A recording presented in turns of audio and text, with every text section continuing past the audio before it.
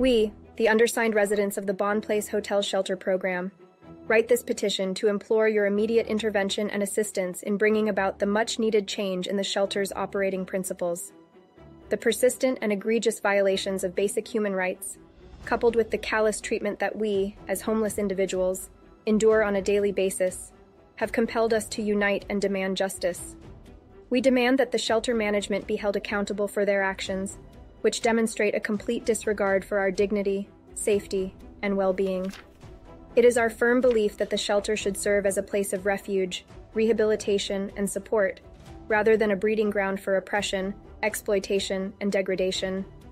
The specific grievances we raise against the shelter management include 1. Unjust evictions. People are being evicted without valid reasons or proper explanations, leaving them vulnerable on the streets without any support or resources. 2. Invasion of privacy. Male staff members enter rooms without knocking, even when women are showering, violating their basic right to privacy and dignity. This often re traumatizes victims of egregious sexual and physical adverse childhood traumas. This violation is particularly distressing for female residents who have had no choice but to experience these intrusions. There have even been instances where a resident was forced to shower in front of male staff members, which is a deplorable invasion of human rights and privacy. Such practices disregard their right to privacy, dignity, and personal comfort. 3. Arbitrary bag limits. The implementation of a two bag limit, which is not documented anywhere in the shelter's standards, has resulted in the deprivation of basic necessities and further marginalizes an already vulnerable population. 4. Neglect of elderly, sick, and disabled residents. The eviction of elderly and sick clients because of their increased need for care demonstrates a sheer lack of compassion and respect for human life. For instance, one gentleman was discharged while in the hospital because he required too much care for the shelter to provide. Instead of finding a suitable nursing home or care facility, he was released onto the streets.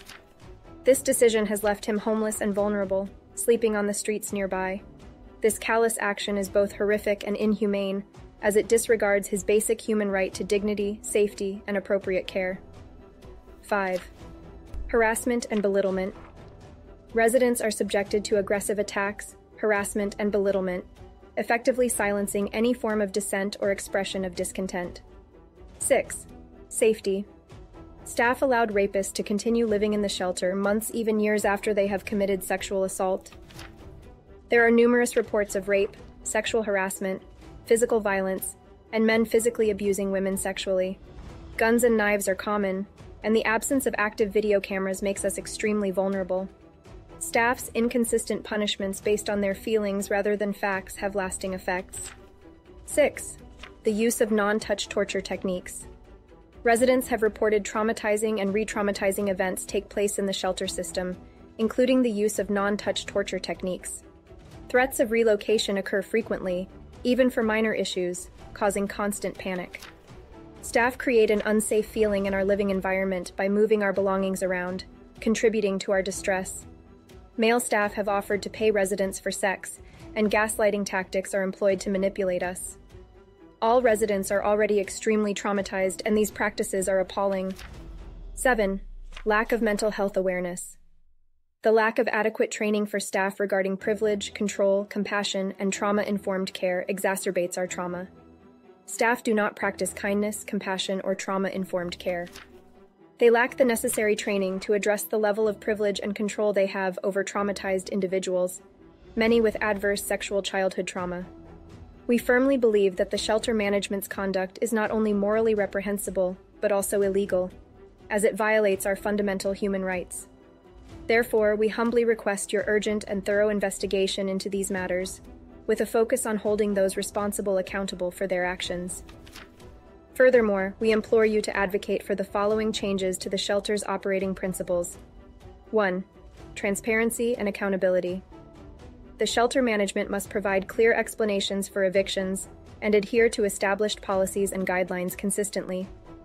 2. Respect for privacy and dignity. A zero tolerance policy for any practice that infringes upon the privacy and dignity of residents must be implemented.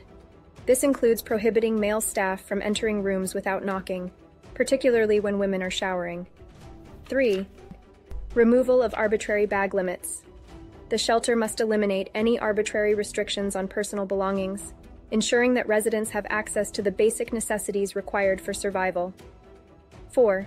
Enhanced care for vulnerable individuals. The shelter should establish protocols to provide necessary care and support for elderly and sick residents, ensuring that there is a place for those that need elevated care if the shelter is unable to provide, instead of abandoning them to life threatening situations on the streets. 5.